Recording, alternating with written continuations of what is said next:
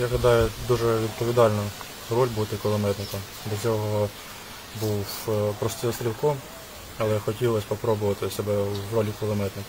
Е, Працював до цього як е, автослюсар, управляючий. В морській піхоті третій місяць, ну, майже з початку війни пішов добровольцем. Перед цим відслужив на гвардії, був контракт. Я просто прийшов в військкомат наш і просто е, задав запитання, чому повістки не приходять, чому я досі, досі вдома сиджу. Е, Він каже, готовий воювати. Я говорю, ну, звісно, я прийшов сюди.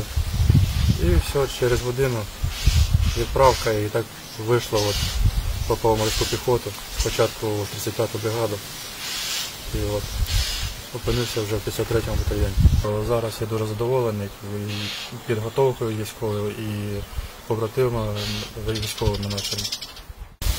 Звати Сергій, служу в батальйоні 17-го року.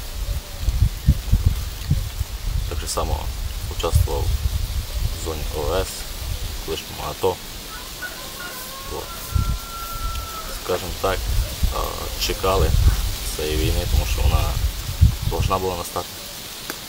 Ті, хто досі служить, знали прекрасно і ожидали. Ну, дітям особливо про війну ти не розкажеш, але те, що запробувалися в мислях, мислі, скажімо так, це багато таких моментів, як люди поранені, в соді, коли ти ж ну, знаходишся з людиною е, довгий час, привикаєш, так же само ну, він становиться до тебе е, другом, навіть чимось більше, ніж другом. І в якийсь момент просто його не стає, це теж дуже тяжко психологічно. Але все рівно стараємося бути на позитиві, не подавати виду і не падати духом.